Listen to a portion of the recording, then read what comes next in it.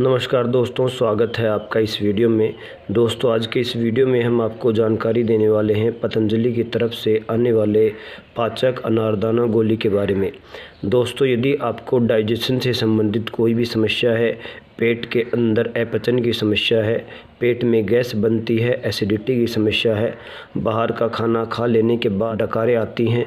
पेट दर्द की समस्या है, खाना अच्छे से पचता नहीं है, खाना ना पचने के कारण वेट लॉस की समस्या है। इन सभी समस्याओं में आपको अनारदाना गोली फ़ायदेमंद रहेगी।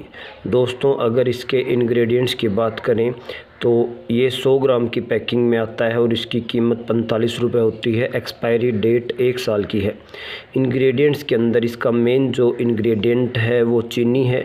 100 ग्राम में से तिरपन ग्राम यहाँ पर चीनी है। इसके अलावा अनारदाना, आमचूर, जीरा, समुद्र लवण, काला लवण, दालचीनी, काली मिर्च, सेंधा लवण, छोटी पीपली, ये सभी इंग्रेडिएंट्स इस बोतल के अंदर पाए जाते हैं। दोस्तों, मैं आपको बताना चाहूँगा, क्योंकि इसके अंदर चीनी बहुत ज़्यादा मात्रा में है तो जिन लोगों को डायबिटीज़ की समस्या है, शुगर की बीमारी है, वो इस पाचक अनारदाना गोली का इस्तेमाल बिल्कुल भी ना करें।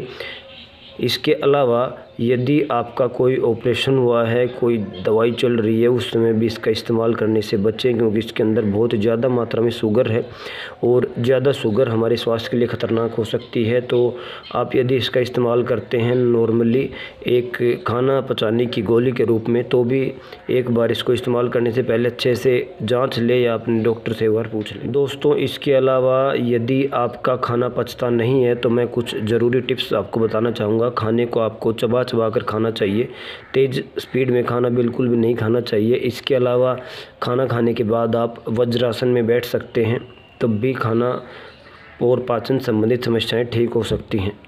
दोस्तों, ये था आज का वीडियो। उम्मीद करते हैं आपको वीडियो पसंद आई होगी। यदि वीडियो आपको फ़ायदेमंद लगी हो तो वीडियो को लाइक करें और चैनल को सब्सक्राइब करें। यदि आप इसको ख़रीदना चाहते हैं तो इसका लिंक आपको डिस्क्रिप्शन में मिल जाएगा।